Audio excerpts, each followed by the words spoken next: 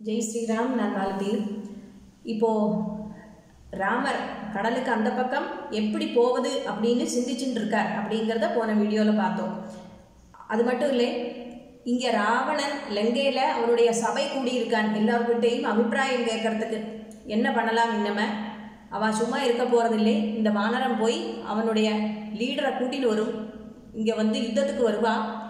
அப்போ நம்ம என்னெல்லாம் பண்ணலாம் அப்படின்னு அவன் சபையில் எல்லோர்கிட்டையும் கேட்குறான் ராமரை பற்றியும் அனுமன் வந்து சென்றது பற்றியும் ராவணன் பேசியதை கேட்ட அவனது சபையில் உள்ள ஒரு ராட்சசன் தனது கருத்தை சொல்ல ஆரம்பித்தான்.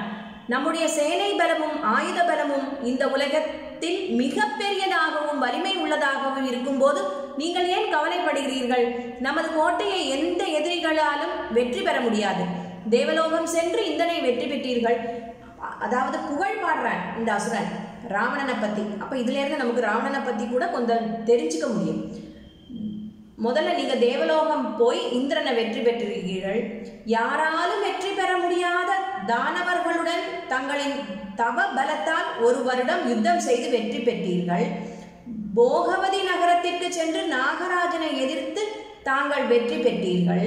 குபேரனை தோற்கடித்து அவனுடைய புஷ்பக விமானத்தை தாங்கள் சொந்தமாக்கி கொண்டீர்கள். தங்களுக்கு பயந்து மயன் தங்களுடைய நட்பு கொண்டு அவனது மகள் மண்டோதரியை உங்களுக்கு மனம் முடித்து வைத்தான் பாதாளத்தில் உள்ள பல நகரங்களையும் காலகேயர்களையும் வெற்றி பெற்றீர்கள். வர்ணனுடைய மகன்களையும் யமனையும் கூட தங்கள் முன்பு மண்டியிட வைத்து விட்டீர்கள். இவ்வளவு பல பலசாலியான உங்களுக்கு ராமர் ஒரு எதிரியே அல்ல. தங்களுடைய பலம் எதிரிக்கு தெரிந்திருக்கும். தங்களை எதிர் எதிர்க்க இங்கு யாரும் வரமாட்டார்கள். மீறி வந்தால் அவர்களை சமாளிக்க தங்களின் புதவனான இந்திரஜித் ஒருவரே போதும். எதிரிகள் எத்தனை பேர் வந்தாலும் இந்திரஜித்தை நீங்கள் அனுப்பி வைத்தால் அத்தனை பேரையும் அழித்து வெற்றி பெறுவான் காரியம் முடிந்தது கவலைப்படாதீர்கள் என்று ராவணனை புகழ்ந்து சொல்லி அமர்ந்தார். ராவணனின் சேனாதிபதி மகாசுரன் எழுந்து தனது கருத்தை சொல்ல ஆரம்பித்தான் அனுமன் லங்கைக்கு வந்தபோது சிறிது அஜாக்கிரதையாக இருந்து விட்டோம் நமது அஜாக்கிரதையை பயன்படுத்தி அந்த வானரம் தனது வலிமையை காட்டி நம்மை எல்லாம் அவமானப்படுத்திவிட்டு சென்று விட்டது இதுபோல் மீண்டும் நடக்க விட மாட்டேன். மறுபடி அந்த வானரம் இங்கே வந்தால் நான் பார்த்து கொள்கிறேன். எத்தனை வானரங்கள் வந்தாலும் அத்தனை பேரையும் அழித்து விடுவேன். ஒரு தவறு நடந்துவிட்டால் அதை தொடர்ந்து அபாயம் வரும் என்று கவலைப்பட வேண்டியதில்லை. தேவர்கள் கந்தர்வர்கள் தானவர்கள் என அனைவரையும் எதிர்த்து வெற்றி பெற்ற தாங்கள் ராமரை பற்றி கவலை கொள்ளாதீர்கள் என்று சொல்லி முடித்தார். துர்முகன் என்ற ராட்சசன் எழுந்து எனக்கு உத்தரவு கொடுங்கள். நம்மை எல்லாம் அவமதிப்பு செய்த அந்த வானரத்தையும் அவனது கூட்டத்தையும் இப்போதே சென்று அழித்துவிட்டு திரும்புகிறேன் என்று கர்ஜனை செய்தார். ராமரும் லட்சுமணன் இருவர் மட்டுமே இப்போது நமது எதிரிகளாக இருக்கிறார்கள். சாதாரண வானரத்தை பற்றி ஏன் பேச வேண்டும்? எனக்கு உத்தரவு கொடுங்கள். அவர்களை நான் ஒருவனே சென்று அழித்துவிட்டு வருகிறேன் என்று வஜ்ரதம்ஷன் என்ற ராட்சசன் தனது பரிகை ஒன்றை அதாவது பரிகை என்ற உலக்கை ஆயுதத்தை காண்பித்தான் கும்பகர்ணனின் மகன் நிகும்பன் எழுந்தார் நீங்கள் அனைவரும் இங்கே இருங்கள் யாரும் வர வேண்டாம். நான் ஒருவனே கடலில் அக்கறையில் அவர்கள் இருக்கும் இடம் சென்று அவர்களை தின்றுவிட்டு உங்களுக்கு செய்தியை சொல்கிறேன் என்றார். ஒரு ராட்சசர் எழுந்து நாம் சூழ்ச்சி மூலமாக இவர்கள் அனைவரையும் அழித்து விடலாம். அதற்கான திட்டத்தை சொல்கிறேன் என பேச ஆரம்பித்தார். பல ராட்சசர்களை மனித வேடம் அழியச் செய்து ராமரிடம் அனுப்புவோம் பரதன் எங்களை அனுப்பியிருக்கிறான். நான்கு வகை பெரும்படை ஒன்று பின்னால் வருகிறது. சிறிது நாள் காத்திருங்கள் என்று சொல்வோம். அவர்கள் கடற்கரையிலேயே ஓய்வு எடுத்துக்கொண்டு காத்திருப்பார்கள். நாம் சூழ்ச்சி வலையில் விழுந்த அவர்களை நாம் வான் வழியாக சென்று அவர்களை முதலில் சூழ்ந்து கொண்டு நான்கு பக்கமும் இருந்து தாக்கி அழித்து விடலாம் என்றார். அனைவரும் தங்களது ஆயுதங்களை காட்டி ஆர்ப்பித்தார்கள். இப்படி ஒருவர் பின் ஒருவராக ராவணனை பெருமையுடன் பேசி திருப்திப்படுத்தினார்கள். எவ்வளவுதான் எல்லோரும் இப்படி பேசினாலும். ராவணனுக்கு மனசுக்குள்ள என்னதோ உறுத்திண்டே இருந்தது. அப்போ ராமரை பற்றி அறிந்த நான் பேசுகிறேன் என்று ராவணனின் தம்பி விபீஷணன் எழுந்தார். இங்கிருக்கும் அனைவரும் தங்களின் பெருமைகளை பேசுவதிலும் உங்களை புகழ்வதிலுமே குறியாக இருக்கிறார்கள். இவர்களின் யோசனைகள் தங்களுக்கு இனிமையாக இருந்தாலும் நமது நாட்டிற்கும் நமது குலத்திற்கும் இது சரியானதல்ல. நீதி தர்மத்திற்கு எதிராக ஒரு காரியத்தை செய்தால் அதன் எதிர் விளைவுகள் கடுமையானதாக கண்டிப்பாக வரும். அதுவே இப்போது வந்திருக்கிறது. இதற்கு முதலில் அமைதியான பேச்சுக்கள் வழியாகவும் அறிவுபூர்வமாகவும் தீர்வுகளை தேட வேண்டும். அது முடியாவிட்டால் அதன் பிறகு யுத்தத்தை செயல்படுத்த வேண்டும். இவர்கள் சொல்வது போல் நீங்கள் முதலில் யுத்தத்தை ஆரம்பித்தால் இலங்கையும் நமது குலமும் முற்றிலும் அழிந்து போகும். தர்மத்தை சிந்தித்து எது சரியானதோ அதனை முதலில் செய்யுங்கள். ராமருடைய மனைவி சீதையை நீங்கள் தூக்கி வந்தது பாவகரமான காரியமாகும். அந்த பாவத்தை தீர்த்து கொள்ள முதலில் அதற்கான வழியை தேடுங்கள். ராமர் நமக்கு என்ன தீங்கு செய்தார்? தனது தந்தையின் சத்தியத்தை காப்பாற்ற தண்டகாரண்ய காட்டில் தனது மனைவியுடன் தனது தம்பியுடனும் யாருக்கும் எந்த தீங்கும் செய்யாமல் அமைதியாகவே வாழ்ந்து வந்தார். அங்கு அவரிடம் சரணடைந்தவர்களையும் தன்னை சார்ந்தவர்களையும் காப்பாற்றிக் கொள்வதற்காக தன்னை எதிர்த்து வந்த ராட்சசர்களை யுத்தம் செய்து அழித்தார். ராமரின் மேல் கோபம் இருந்தால் நீங்கள் ராமரை எதிர்த்து யுத்தம் செய்திருக்க வேண்டும். அதை விட்டு அவர்களை வஞ்சகமாக ஏமாற்றி அவரது மனைவியை தூக்கி வந்து விட்டீர்கள். இது மிக பெரிய பாவமாகும். நம் பெயரில் குற்றத்தை வைத்துக்கொண்டு யுத்தம் செய்ய வேண்டும் என்று சொல்வது சரியானதல்ல. ராமருடைய பலத்தை முதலில் சரியாக தெரிந்து கொள்ள வேண்டும்.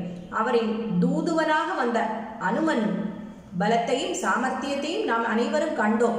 இவ்வளவு பெரிய கடலை ஒரே தாவலில் தாவ யாராலும் முடியாது. ஆனால் அனுமன் தாண்டினான். அனுமான் செய்ய முடியாத அதாவது அனுமானம் செய்ய முடியாத அளவிற்கு அனுமனின் வீரம் உள்ளது. ராமரை பற்றியும் அனுமனை பற்றியும் இங்கிருப்பவர்கள் அலட்சியமாக பேசுவதில் பயனில்லை. நம்முடைய பலம் பெரிதாக இருந்தாலும் எதிரியின் பலத்தையும் பார்த்து யுத்தத்தை தீர்மானிக்க வேண்டும். சீதையை முதலில் ராமரிடம் ஒப்படைத்துவிட்டால் யுத்தம் என்ற பேச்சுக்கே இடமில்லை. ராமரும் லட்சுமணனும் இங்கு வருவதற்குள் சீதையை அவர்களிடம் ஒப்படைத்து விடுங்கள். உங்களின் கருத்துக்கு எதிரான கருத்தை சொல்கிறேன் என்று என் மீது கோபம் கொள்ள வேண்டாம். உங்களின் நன்மைக்காக சொல்கிறேன் என்று ராவணனிடம் விபீஷணன் அமைதியுடன் கூறினான். தன்னுடைய மந்திரிகள் சேனாதிபதிகளின் வீர பேச்சுக்களை மகிழ்ச்சியுடன் கேட்டுக்கொண்டிருந்த ராவணனுடைய மனதில் இருந்த சந்தேகம் அதிகமானது.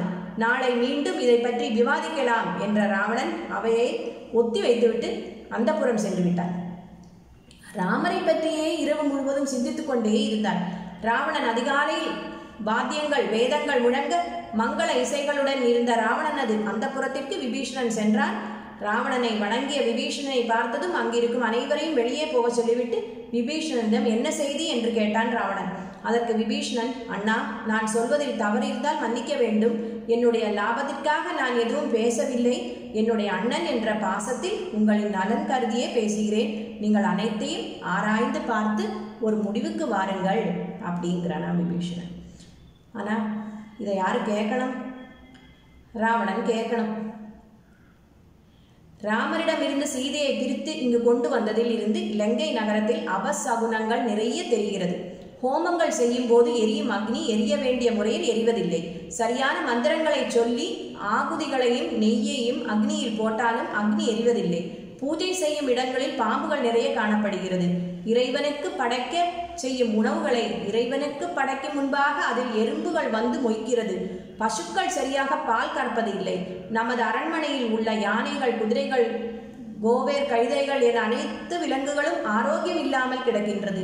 சரியாக உண்ணாமல் விபரீதமாக நடந்து கொள்கின்றன. விலங்குகளுக்கு செய்யும் வைத்தியங்கள் எதுவும் பலன் அளிக்கவில்லை. காக்கைகள் நகரத்தின் உயரமான இடங்களின் மேல் கூட்டம் கூட்டமாக உட்கார்ந்து விபரீதமாக கத்துகின்றன. கழுகுகள் வட்டமிட்டு கொண்டிருக்கின்றன. நரிகள் ஊருக்குள் புகுந்து ஊழையிடுகின்றன காட்டு மிருகங்கள் நகரத்திற்குள் நடமாடுகின்றன. சகுனம் சொல்லும் அறிஞர்கள் அந்த அபசகுனங்களின் அறிகுலை அறிகுறிகளை பார்த்து அதற்கு அர்த்தம் சொல்வது அனைவருக்கும் கவலையை உண்டாக்கி கொண்டிருக்கிறது. இவையெல்லாம் நமக்கு மிகப்பெரிய அபாயத்தையும் நஷ்டத்தையும் குறிக்கின்றது. இதை நாம் அலட்சியம் செய்யக்கூடாது. சீதியை திருப்பி அனுப்பிவிடுங்கள். அவளை இங்கு கொண்டு வந்தது முதல் இந்த அறிகுறிகள் காணப்படுகின்றன. நான் சொல்வதில் நம்பிக்கை இல்லை என்றால் மற்றவர்களையும் விசாரித்து கேட்டு தெரிந்து கொள்ளுங்கள். நான் சொன்னதில் தங்களுக்கு உடன்பாடு இல்லை என்றால் என் மீது கோபித்துக் கொள்ளாதீர்கள் அப்படிங்கிறார் ராமரை பதை பகைத்து கொள்வதனால் நமக்கு லாபம் ஒன்றும் இல்லை சீதையை திருப்பி அனுப்பிவிட்டு நாம் சுகமாக வாழ்வோம் என்று மிக பணிவுடன் விபீஷணன் ராவணனிடம் கூறுகிறார். அதற்கு ராவணன் சீதையை திருப்பித் தரும் பேச்சுக்களை இங்கு பேச வேண்டாம். அது ஒரு நாளும் முடியாது. ராமரை நான் ஒரு எதிரியாகவே காணவில்லை. ராமரின் மேல் எனக்கு ஒரு பயமும் இல்லை. நீ போகலாம் என்கிறார். ராவணன் சீதையை திருப்பி அனுப்பக்கூடாது என்று பிடிவாதமாக இருந்தாலும் தன்னுடைய ஆசை நிறைவேறவில்லையே என்று மிகவும் வருந்தினான். தான் செய்யும் காரியத்திற்கு தன்னுடைய உறவினர்களும் தவறாக பேசுகிறார்களே என்று தனது மன அமைதியை இழந்தான் ராவணன். அதனை யாரிடமும் காட்டிக்கொள்ளாமல் மீண்டும் மீண்டும் சபையை கூட்டி ஆலோசனை செய்தான். இழந்த மன அமைதியை மீண்டும் பெறுவதற்காக சபையை கூட்டி ஆலோசனை என்ற பெயரில் தன்னை மற்றவர்கள் பெருமையாக பேசுவதை கேட்டு ஆறுதல் அடைந்தான் ராவணன். தனது அகங்காரத்தால் சிறிய காரியத்துக்கு கூட சரியான யோசனை செய்ய இல்லாமல் முடிவெடுக்க முடியாமல் திணறின. ராமரை பற்றி விவாதிக்க மீண்டும் தனது மந்திரி சபையை கூட்டினான். இந்த முறை நகரத்தில் உள்ள அனைத்து ராட்சச குழுவினர்களும் தலைவர்களும் வரவேண்டும் என்று கட்டளையிட்டான். அரண்மனையில் ராட்சச தலைவர்களால் நிரம்பி அர அரண்மனையில் ராட்சச தலைவர்களாக கொண்டு நிரம்பியது. ராவணன் பேச ஆரம்பித்தான். எல்லா விதத்திலும் நீங்கள் திறமைசாலிகள். இந்த மந்திரி சபையில் உள்ளவர்கள் எந்த விதமான சிக்கலான காரியத்திற்கும் சரியான யோசனை சொல்லும் சக்தி வாய்ந்தவர்கள் நீங்கள். இதுவரை நீங்கள் ஆலோசித்து சொன்ன அனைத்தும் நமக்கு நன்மையை அளித்திருக்கிறது. இதுவரையில் நாம் செய்த யுத்தங்களும் அதற்கு நீங்கள் சொன்ன அனைத்து ஆலோசனைகளும் நமக்கு பல வெற்றிகளை கொடுத்திருக்கிறது. நாம் இதுவரையில் தோல்விகளை கண்டதில்லை. இப்பொழுது உங்களிடம் நான் ஒன்று கேட்கிறேன். அப்படின்னு ராவணன் மந்திரி மார்ட்ட கூட்டி வச்சிருக்கிற ராட்சசன் மார்ட்டையும் ஆலோசனை கேட்குறானா அவ திருப்பி திருப்பி என்ன சொல்ல போறா? எதையெல்லாமோ விபீஷணன் நல்லது சொல்லி கொடுத்தான் ஆனா அது ஒன்றும் அவனோட காதுல ஏறல. இப்போ அந்த மந்திரிமார் என்ன இல்லாமோ சொல்லி அவனை குழப்பி விட போறா. அது என்னதுங்கிறத நமக்கு அடுத்த வீடியோவில் பார்க்கலாம் ஜெய் ஸ்ரீராம்.